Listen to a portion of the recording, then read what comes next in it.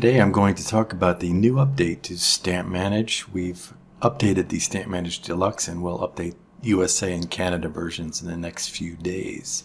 So as always to update, if you're using StampManage Deluxe 2021, just select Help, check for updates from the main menu.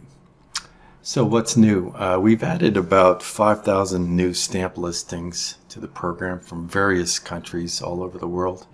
And we've also made several thousand um, edits or improvements to the text data in the program, um, especially in, for example, you see here Portuguese Africa, Portuguese Congo, Portuguese Guinea, and Portuguese India.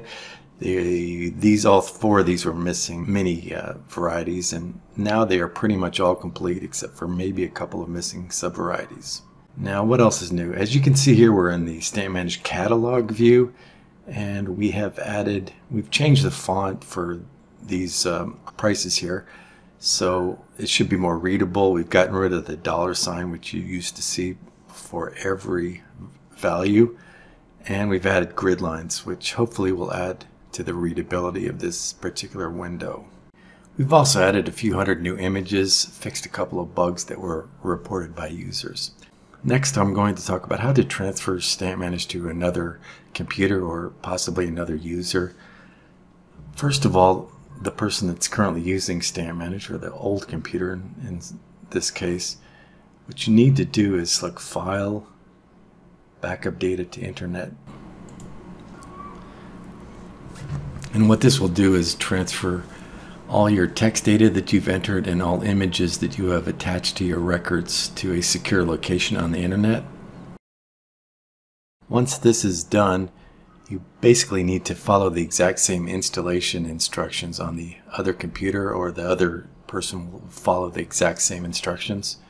This, these will be in the email you received after purchase. Now, if you don't have that information anymore, you can go to our website, libertystreet.com, click on Contact, and we have a get activation code button here. And what you can do is let's say for example you have StampManage USA 2019 you just enter your email address. Now if you don't if you purchase the program from eBay or Amazon uh, you're not going to have an email address because they don't actually allow us to have that information. Uh, so just email us at techsupport at libertystreet.com for that information. But if you do have if you have ordered online with a email address, you just type in your email address. Click on Find Serials. What's going to happen is you'll get an email with a download link and your activation code for the program, which you can share with the other person or computer. So let's assume we are on the target or second computer, and after the program is installed, the user will see absolutely nothing. So what they need to do to, to get the data that you have uploaded to the internet is simply select File, Restore Data from Internet Backup.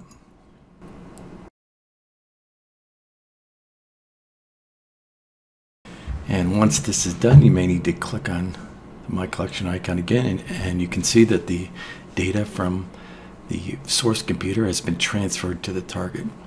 So that's all for today. Thanks for watching.